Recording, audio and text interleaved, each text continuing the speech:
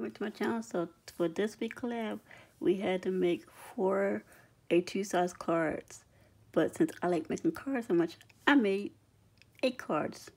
So for the first one I'm going to show you, I used this Jeannie Marie die. I used a larger one and next one down from it.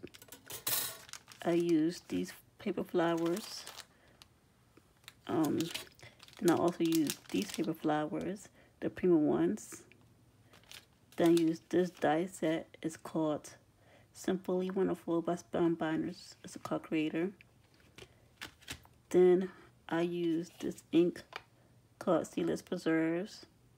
And I also use this one called Broken China. So I'm going to show you the card I came with. This is the envelope. And this flower came from here. From this Prima Flowers right here. That's the envelope.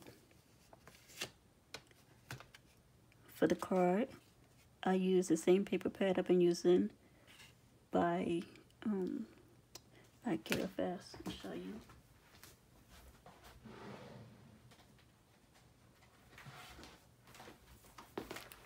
It's called Sparkle City by Schmiel. So that's the same paper I used last week.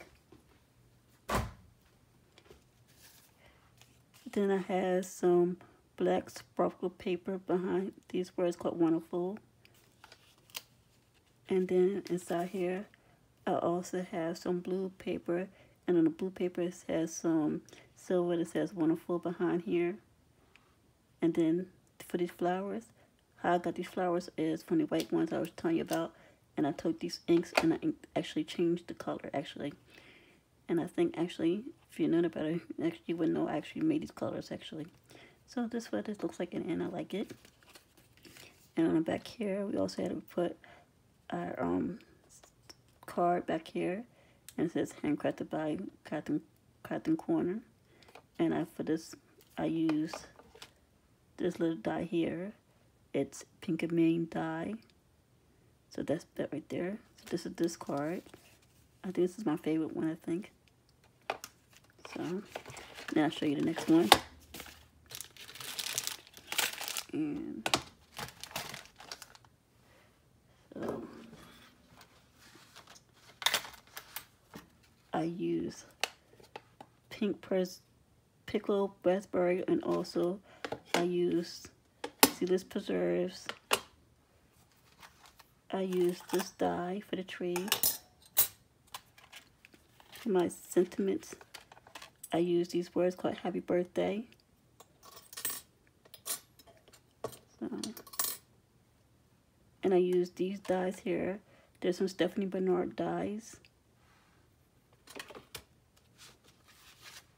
I use this unicorn rainbow type like stamp set from Hero Arts.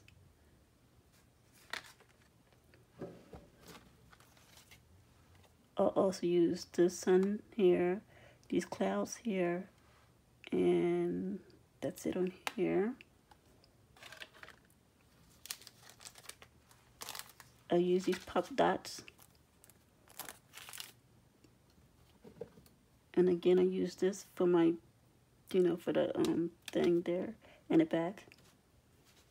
So, and I'm going to show you the card I use. So what I did, oh, also I used the butterfly die. I don't have it out. I forgot to get it. So what I did was I cut out a butterfly and I inked it up using those, the picked raspberry and the please, uh, I'm all tongue-tied. See, this preserves. And so it opens up like this. It's only on the edge. And it goes down like that. I think that's pretty cool. And then back here is also again the handcrafted by Captain Corner. And this is the card I use. Here's the sun I cut out. And then I use the sun and I used the cloud. And also I used a, uh, what is this called? Spectrum Noir. I think it is one, do I have it here? I had it here, but I don't know where I laid it at. So I used French to give some highlights. And I here's the tree, and I put some Wink of Stella on it. Here is the two rainbows. I said rainbows. They're not rainbows. These are the two unicorns. The big one, and I popped this one up up up, up behind it, above it. And so this what it looks like. And then I took another piece of paper behind here.